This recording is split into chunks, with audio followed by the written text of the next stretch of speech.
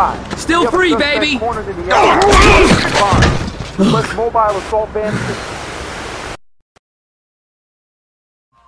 I come from a two-fare zone. It seemed like just yesterday I had to take the two of the five to the junction and walk the rest of the way. We used to hop and never drop a token over the turnstiles like Edwin Moses and run from the cops like Jesse Owens. Track stars riding in between the cars.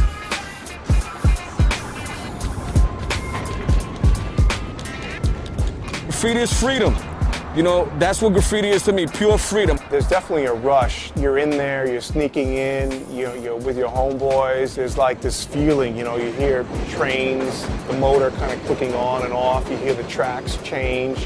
There's all these elements that add to the whole mystique of that's in a way, you know, you can't even really describe that to people now. I'm, I'm not entirely sure why I write graffiti. It's kind of how, like, when people have conquered something, they stick a flag in it at the end and that's my version of my flag, maybe. If I'm upset or I have pain or rage in me, I'll just go out and just destroy shit. For me, writing was a release. It was an escape from, you know, my parents bitching and complaining in the house.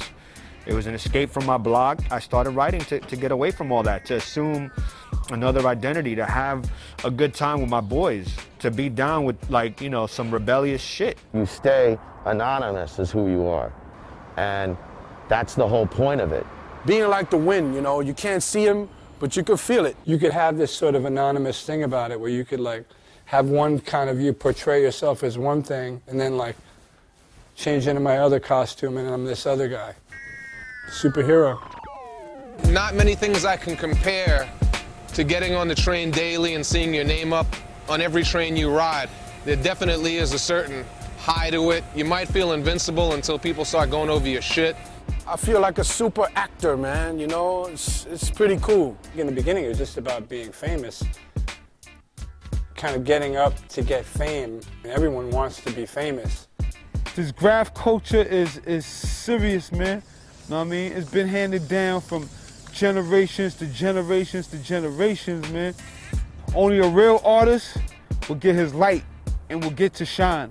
I mean, a real writer is somebody who picks up a can and goes out and writes in the street illegally. They do what they want to do, when they want to do it.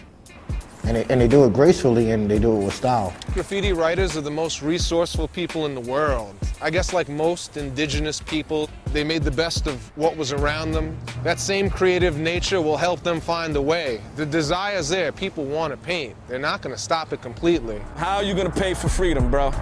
You don't pay for freedom, you take it. My name is famous, my face unknown. Take a walk with me, we going all solid, solid feeling. Walk with me, let's take a walk. Take a walk with me, let's take a walk. Let's go bombing. Let's go bombing. Can't beat this shit. I can't. It, it's it's in me. You know what I'm saying? It's like a virus. You know what I mean? With with without a cure. I guess I feel a natural high, a natural orgasmic feeling. It's like busting a nut. No doubt, definitely. I've been able to shake cigarettes and ex-girlfriends, and graffiti is the one thing that's uh, sustained in my adult lifetime. I don't know if it's necessarily euphoric. I mean, it's a little bit, there's paranoia, there's fear. It's a little tense. It can be tense. Once you got it, it's like tag you it now, you know what I mean? I can't stop it. I mean, maybe it's a, um, a disorder. They need to make an AA program for graffiti, man. Even when you're too old for it, it's hard to quit. It's a disease. I know I have to slow down. And the day is not tomorrow or the day after that.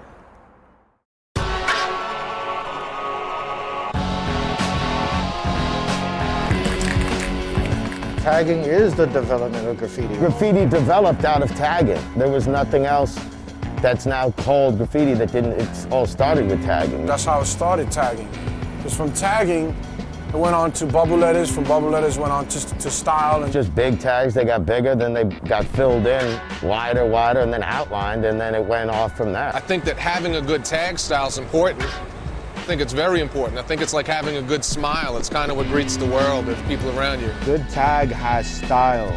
It has uh, some type of flow. Uh, it has legibility. Uh, and it also has repetition. You got to write it over and over and over and over again. You want your shit to look good, stand out, and look original, and nice and clean. It's a logo, you know what I mean? And with that, you can take it, you can take it beyond. It's, it's, it's basically like the UPC symbol, you know what I'm saying? Get scanned to get scanned every day by the human eyes. Ultimately, advertising, you know, for those individuals is something that they will always be connected to. Tag is your, your name, your logo, is the most important element of bombing. I think it's strange that some people have mastered piecing and can't tag. I've seen riders that have, you know, amazing throw-up styles and can't even throw a tag. Sometimes it suggests that you might paint a little bit more than you bomb. And usually you bomb and then learn how to piece. So the evolution's a little off as far as I'm concerned. Your tags is like your soldiers. You lay them down strategically around the city. You know, the more soldiers you have in an army, the more chances you have to win the war. Your tag, your signature is who you are as a writer to the rest of the world, to the rest of the writing community. So once you once you get your tag, that becomes who you are. If a tag's like a single adult male living alone, a throw up is like when he's married and has kids. A throw-up is something you do quick, in a matter of seconds. I mean, you just do a quick fill-in, a quick outline. You could do hundreds of them. They're quick and easy to do. If they're done correctly, they look quite good. Some people don't think so, but fuck them. I love throw-ups, man. I love doing throw-ups everywhere. I love throw-ups. I love throw-ups. I love doing throw-ups and fillings, dusty ones, solid ones, ones without shadows, skinny caps, fat caps. You can express yourself differently with each one. Each one is, has its own identity. A lot of people think that it's a lazy version of doing their name or a simplified bubble style of doing their name, but there legitimately is an art to doing throw-ups. You know, and when I grew up, just about everyone that had a throw-up rocking had a dope throw-up. So the throw-ups are like a tank and shit.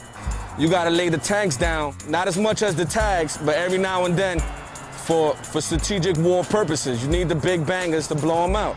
Go crush a yard, go crush a layup with hundreds and hundreds of throw-ups. If you went and did one piece because you thought you were some, you know, you're the man, you want to do one whole car, you spent your whole night doing one piece, that shit gets destroyed, you weren't even there.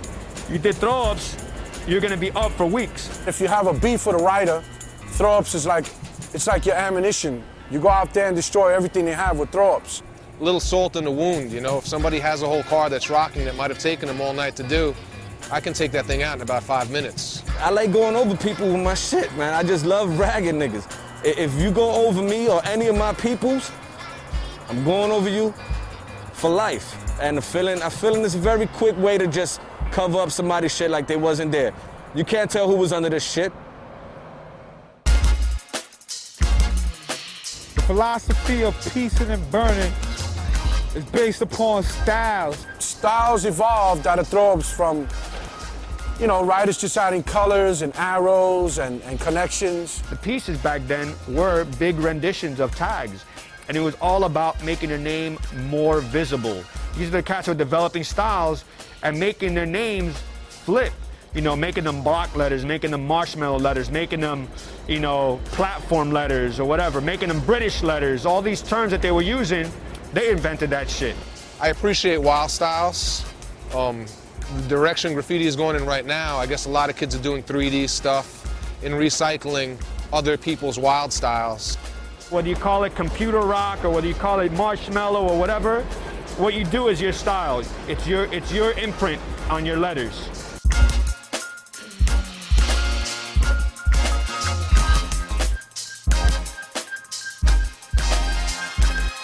I think style is a personal taste. Some people that or would be considered toys have style. To me, style is like a flow, a rhythm to your letters. You know, you gotta make it cartoon-like, make it, make it have some type of life in it. So it's like a foot, a knee kicking. I try to do my S original, half, half of New York City took it, and my F is fat like me. If something looks like extremely sterile and generic to me, it loses its sense of style. Specialized caps and rulers and levels and it just it, it, it almost it almost becomes like plastic fucking surgery. Does that girl really look good with fake breasts, Botox, and like huge bubble lips? Some guys, yes, she's gorgeous, and I'll go all out for her. Other guys, no. She's like a freak of nature.